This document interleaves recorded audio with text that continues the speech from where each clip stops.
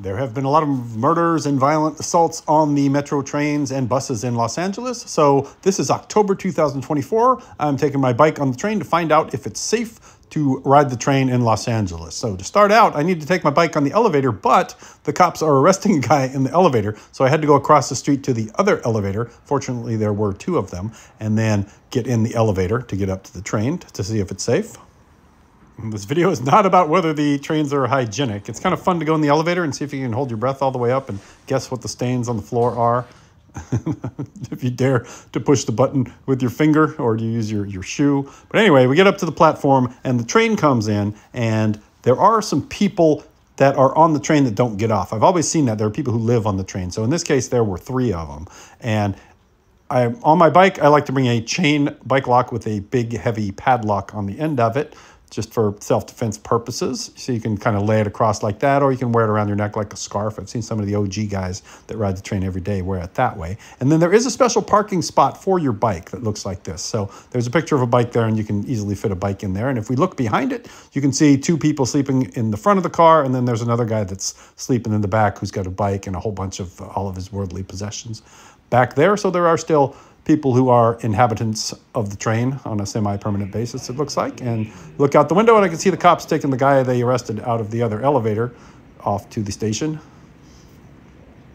And this is 9 o'clock in the morning on a Sunday. This is at the Redondo Beach Station, which is the end of the Green Line on the beach end. And I'm going to show you where we're going to go. So we're basically taking the Green Line up all the way to the Blue Line, Rosa Parks Station, and then taking that all the way to downtown where we're going to do a big group bike ride in the streets that should be pretty awesome. So the bike is tucked in carefully. If you do use a bike, you definitely want to stand next to it and hold on to it or it'll roll and fall over and, and cause chaos in the train car. And they've also put up a sign that tells you what kind of bikes to bring. And you can see they don't want anything long, no recumbents, no big giant ones, no mopeds, no trailers. So now at Crenshaw Station, these four armed guards, not cops, but they are actually armed security guards wearing Metro vests that work for a private company carrying guns. So four guys with guns get on and they're looking very intently at the sleeping people. And I saw more of those armed guards as I got closer to LA. And at the Rosa Parks station, I took the elevator down and met a really nice elevator attendant. Okay, going up or down? Oh, um, down, please. Second floor? Yeah. All right, thank you.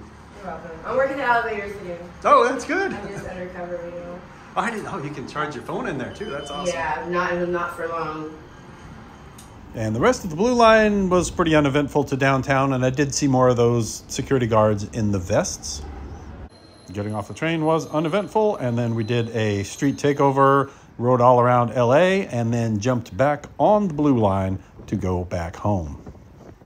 So now it's about 2:30 in the afternoon, heading southbound on the blue line. It was a Sunday, the day of the Dodgers versus Mets playoff game, and I did notice that there were a bunch of security guards wearing the vests, carrying guns at most of the stops. And at the Rosa Parks station where the blue line meets the green line, the elevator that takes you up to make the transfer was out of commission. So I had to take my bike up the escalator. That's not an issue for me. I'm reasonably strong. The bike's about 50 pounds. It's an e-bike. But if you're weak or have injuries or are riding a super heavy e-bike, you're going to have some trouble if this happens to you. And then as I get up onto the platform to wait for the train here along the beautiful freeway, I noticed that there are a lot of these guys. These are not the same as the guys with vests. These guys do not have guns. So this is, I think when we defunded the police and we talked about getting mental health workers and people who weren't violent, that's what these guys are. You can ask them to help you. You can ask them to call a real cop. They call them Metro ambassadors. So there was probably 15 of them getting on the train at that point. And then when I get to my final destination, the last stop on the green line, I get out of the train and I notice there is a big, beautiful pistol packing mama in a vest with a gun getting on the train to clear it out. So that's how safe it is on the train these days.